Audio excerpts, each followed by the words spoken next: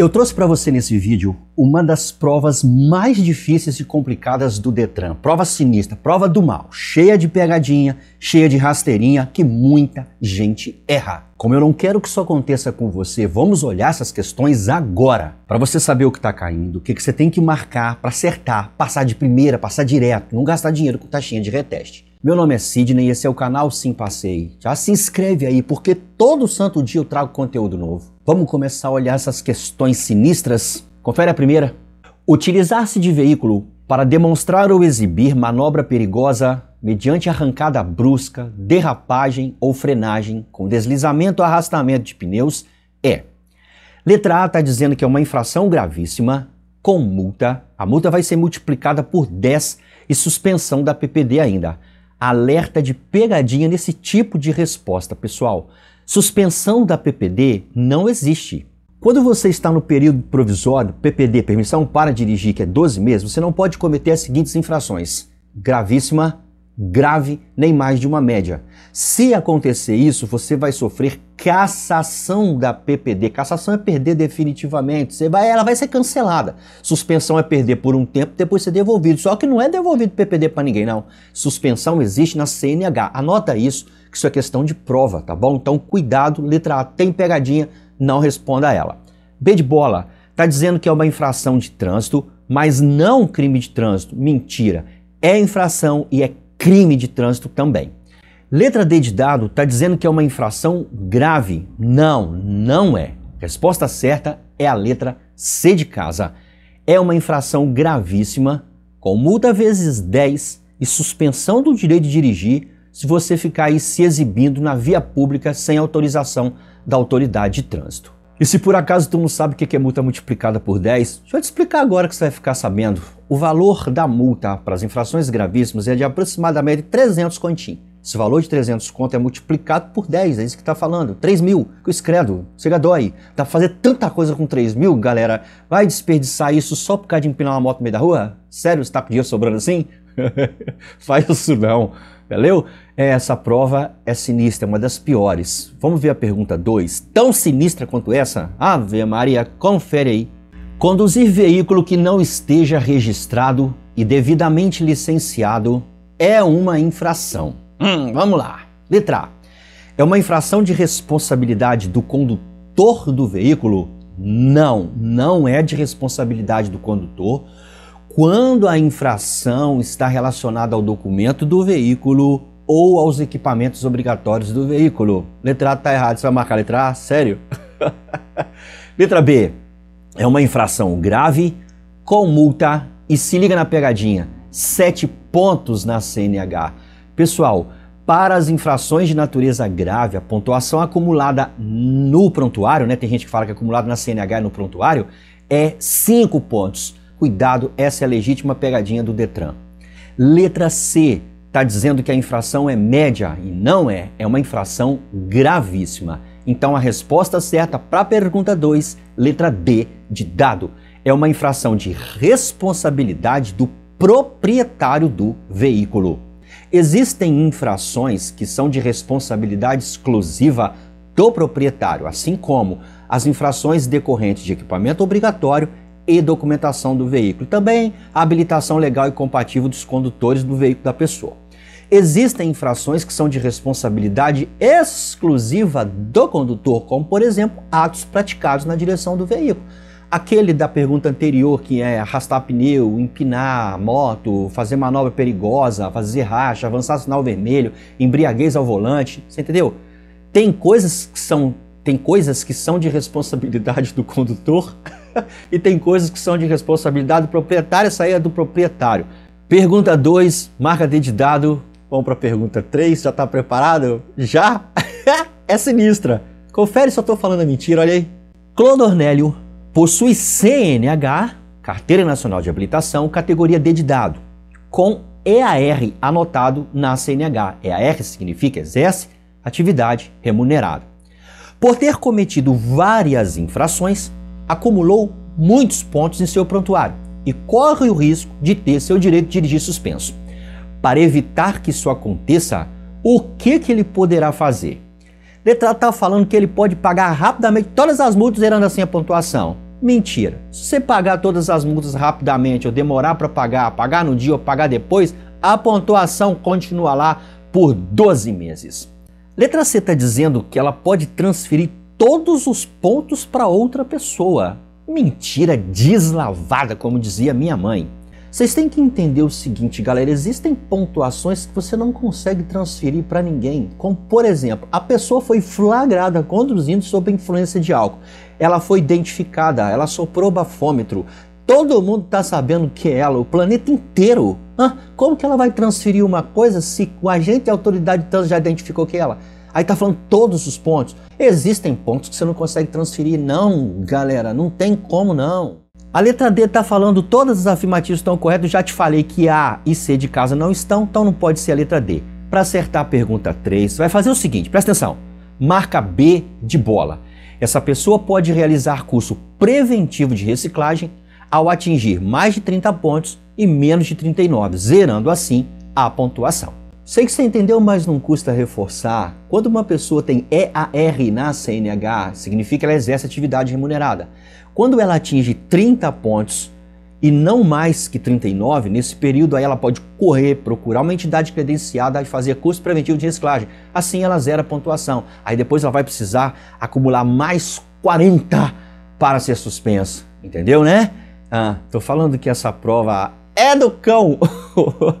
Vamos para a pergunta 4. Do cão também. As 10 primeiras, todos erram. Olha aí, se eu estou falando mentira.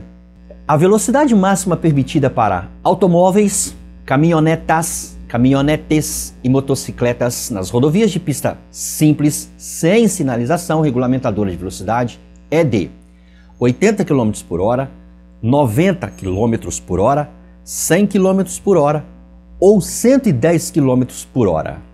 Antes de eu te dar a resposta certa, pega um papel e canetinha anota o que eu vou te falar agora, porque vai ajudar demais na sua aprovação, porque quase toda a prova pergunta a diferença de caminhonete para caminhoneta.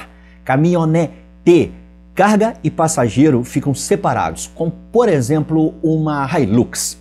Caminhoneta, carga e passageiro ficam no mesmo compartimento, como por exemplo uma Kombi. Anote isso aí, por favor, tá bom? E outra coisa, ah tá, anota mais uma coisinha. Aí tá falando é, rodovias de pista simples. Qual a diferença de rodovia de pista simples para rodovia de pista dupla?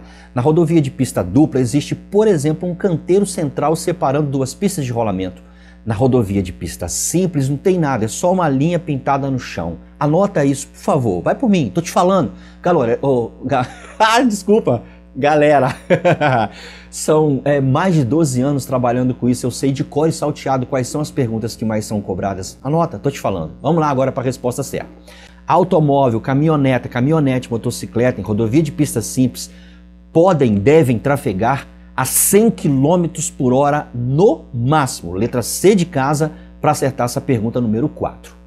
E só uma observação: se por acaso aqui na pergunta falasse rodovia de pista dupla, se aqui no lugar de pista simples tivesse pista dupla, a resposta seria 110 km por hora, letra D. Vocês anotaram? Pista simples 100 km para esses veículos, pista dupla 110 para esses veículos. Vamos para a pergunta 5. Sinistra também? Olha aí, vê se eu estou falando mentira. Caso você esteja com dificuldade para passar ou está com medo da prova que está chegando, Fica não, fica com medo não. Se você quiser, eu tenho como te ajudar. Eu tenho um material que está aprovando mais de 90% das pessoas. Meu material só tem as questões que caem em provas, já corrigidas, explicadas com dicas e macetes. Tem resumos do conteúdo para você não ficar aprendendo blá blá blá. Você só aprende o que cai nas provas com o meu material. Caso você queira realmente passar, entre em contato comigo. Meu telefone está aqui na tela. Me chama lá no zap, vamos trocar uma ideia, te explico tudo sobre o meu material. Você vai comprar e vai passar. Com meu material você aprende, comigo você passa.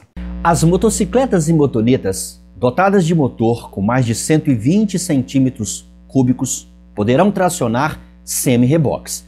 Mas para isso, os semi-reboques deverão ser projetados especificamente para uso exclusivo desses veículos e homologados pela Secretaria Nacional de Trânsito, Senatran. Essa afirmativa está correta, incorreta, correta em partes, pois isso se refere apenas às motocicletas, Incorreta em partes, pois isso se refere apenas às motonetas. Pessoal, quer acertar essa pergunta 5? Marca a letra A. Isso aí tá correto. Tanto as motonetas bis, por exemplo, quanto as motocicletas, umas 125, 150 cilindradas CG, por exemplo, é, elas podem sim tracionar reboque. Tá? E tá falando semi-reboque, mas é reboque, porque é apoiado na moto através de uma haste, então é reboque. Elas podem, porém, esses veículos têm que ser projetados especificamente para elas, tem que ser homologado pelo Senatran. Tá tudo certo aí, pode marcar. É difícil essa pergunta, galera, isso é do mal. Vamos para seis? Respira fundo porque é sinistra. Qualquer concentração de álcool sujeita o condutor às penalidades de multa e suspensão da sua CNH, podendo o Detran definir margens de tolerância quando a infração for apurada por meio de, de aparelho de medição. Essa afirmação está totalmente correta, totalmente incorreta, incorreta apenas no que diz respeito ao órgão regulador ou todas as afirmativas estão corretas. Traduzindo para bom português para você entender rapidão, aí tá falando quando você é flagrado no bafômetro, não tem tolerância para ar expelido pelo pulmão não. Mas para o aparelho tem uma tolerânciazinha. Até aí tá certíssimo. O errado é quando fala o órgão que regulamenta essa bagaceira. Não é o Detran não, é o Contran. é aí que tá o erro. Só aí, mais nada, o resto tá certo. Então, quer acertar a pergunta 6, você vai fazer o seguinte na confiança. C de casa, marca ela você acerta e passa. E provinha do cão. Vamos para a questão 7. Ciscleide trafegava com seu automóvel no qual há aparelho de DVD instalado. Tinha que falar aqui onde que esse, que esse aparelho de DVD está instalado, né, galera? Mas vamos deduzir que seja no painel. Ao ser abordada em uma fiscalização de trânsito, ela poderá Letra A está falando, poderá ser multada, pois é proibido esse tipo de aparelho em automóveis? Mentira, não é proibido esse tipo de aparelho em automóveis não, principalmente se ele tiver instalado no encosto de cabeça do banco. Letra C de casa, ela pode ser advertida e prosseguir viagem? Não, não vai ser advertido prosseguir viagem não, que se estiver errado vai ser multada, não existe advertência para esse tipo de infração não. Letra D de dado, ela poderá ser aconselhada a diminuir o volume de som. Não, galera, não precisa nem continuar lendo, que isso aí é sem noção. Para acertar a pergunta 7, você vai fazer o seguinte: vai marcar B de bola. Ela poderá ficar tranquila, pois não é infração se o aparelho está desligado. Então, deixa eu te explicar o que está falando aqui. Pessoal, não tem nada de errado em você ter ou instalar o aparelho de DVD no painel do seu veículo. Você pode assistir aquela bagaceira se você quiser. Você não pode é fazer isso com o veículo em movimento. Todas as vezes que o, que o veículo estiver em movimento, o aparelho de DVD ele tem que estar desligado ou ele tem que ser guardado no painel. Tem uns que fazem isso automaticamente. Você liga a chave, ele já recolhe e fica embutido no painel. Entendeu? Então aqui, ó, se a Cisclade tem este aparelho, mas no momento da abordagem ele está desligado e está guardadinho, não tem problema nenhum não. Não tem problema nenhum não, tá? Então isso não é infração de trânsito. Infração de trânsito é com o veículo em movimento, estar com esse aparelho pro, é, produzindo, projetando, passando lá um show, um filme, uma série, um, qualquer coisa. Aí não pode. Então, 7, P de bola, entendeu aí, né? Vamos para 8. Pergunta 8. Nelson Mar emprestou seu veículo a um amigo, o qual é devidamente habilitado. Porém, esse amigo emprestou o veículo de Nelson Mar para um terceiro e e que não possui habilitação. Essa terceira pessoa não possui habilitação. Ave Maria. Nesse caso, vamos corrigir de baixo para cima, pessoal, só para ficar diferente. Dedidado está falando que Nelson Omar não vai ser penalizado não, pois não foi ele que emprestou veículo a quem não podia. E galera, isso aí não procede não. Ele vai ser penalizado sim. Por quê? Para a autoridade de trânsito não importa se ele sabia, se ele não sabia, se ele emprestou para um segundo, segundo emprestou para o terceiro, terceiro para o quarto, quarto para o quinto. A autoridade não quer nem saber, então letra D de dado está errado, marca não. Letra C de casa está falando que o amigo de Nelson Mar será autuado, pois é proibido emprestar veículo de um amigo para um terceiro. Não. para a legislação de trânsito, não é proibido emprestar para um segundo, segundo, terceiro, terceiro para um quarto. Tem nada que impeça. Que você não pode emprestar para quem não tem habilitação. O, o problema, galera, está entre as partes ali, tá? O Nelson Mar é um amigo dele. Mas a legislação não proíbe você emprestar para uma pessoa, essa pessoa emprestar para uma outra. Então tá errado. B de bola está dizendo que o condutor será processado caso seja flagrado. Pode parar de ler, galera. Não existe processo para esse tipo de coisa, não. É uma infração de trânsito, vai receber uma autuação e uma multa. Para acertar a pergunta 8, essa pergunta sinistra, você vai marcar a letra A. Nelson Mar, coitado, corre sério risco de ser multado e ainda responder por crime de trânsito. Isso aqui procede, é verdade, pode marcar a letra A. E cuidado tu que tem veículo no seu nome, empresta para uma outra pessoa. Essa outra pessoa é habilitada, está com a habilitação em dia, essa habilitação é para o veículo que você está emprestando para ela, cuidado com isso e cuidado se ela emprestar para uma outra pessoa. Se essa outra pessoa for flagrada sem habilitação é uma multa. Se essa pessoa estiver fazendo alguma coisa ali que botar os outros em risco, aí é crime de trânsito que você, que é dono do veículo, tem que responder. Cuidado com esse trem aí.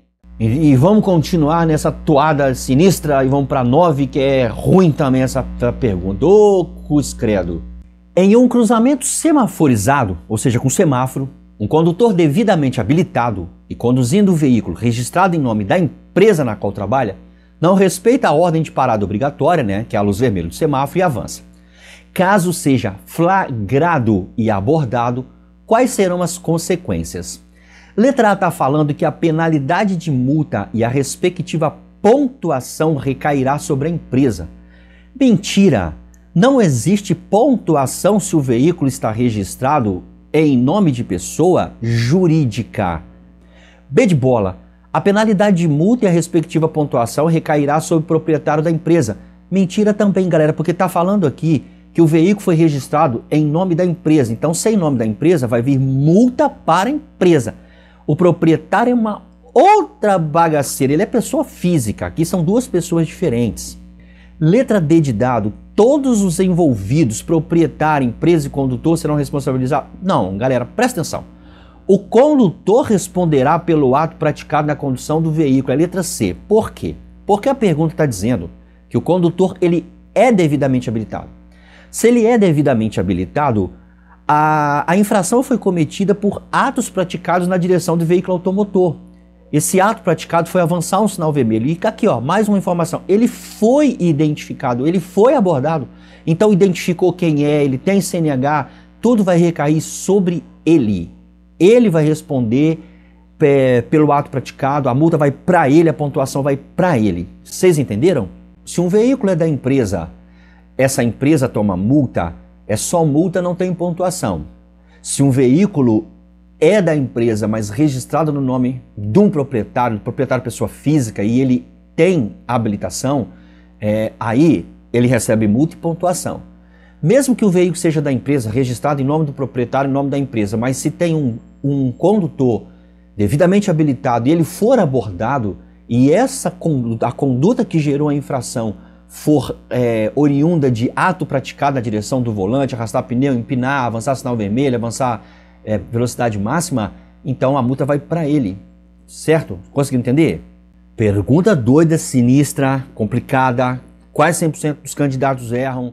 E já que você está no embalo de desespero com essa prova, mantenha o desespero aí porque a pergunta 10 vai continuar te mantendo desesperado. Olha aí, dá uma olhadinha. Assinale a única opção que apresenta uma informação que não está contida no CTB. Vamos começar de baixo para cima só para dar uma relaxada. Dedidado. É proibido nas áreas urbanas acionar buzina do veículo entre 10 da noite e 6 da manhã? Sim, isso está contido no CTB. A pergunta quer saber o que não está contido, então sendo marca dedidado, não. Letra C de causa. O condutor deverá fazer uso de luz alta dos faróis quando trafegar por vias não iluminadas, salvo ao seguir ou cruzar com outro veículo. Com certeza absoluta. Tá sozinho na via à noite, não tem iluminação pública, tem que usar farol alto. Vem alguém de lá para cá, ou você chegou na traseira de um veículo, baixa, é baixa, baixa o farol, farol baixo certinho. Letra C. Então você não marca a letra C porque a pergunta quer o que não está contido no CTB. B de bola. O condutor deverá fazer uso de luz baixa dos faróis nas seguintes situações. Nas, falei nas, nas seguintes situações. À noite, sob chuva, neblina, cerração, certíssimo. Então, o que não está contido no CTB é letra A. Sob nenhuma hipótese é permitido avançar sinal vermelho de um semáforo. Isso aí está errado. Está lá no artigo 44A do CTB. Tem uma hipótese sim.